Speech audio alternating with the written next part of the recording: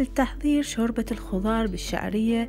نحتاج نذوب زبدة أو زيت وبعدها نضيف عليها بصل مقطع ونحرك بيه إلى أن يذبل شوي البصل. نضيف عليه ملعقة معجون طماطة ونفس الشي نحمسها ويا البصل.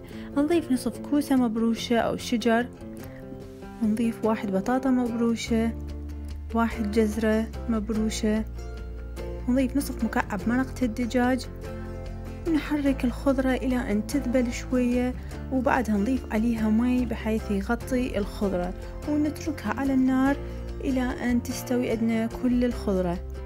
وبعدها نهرسها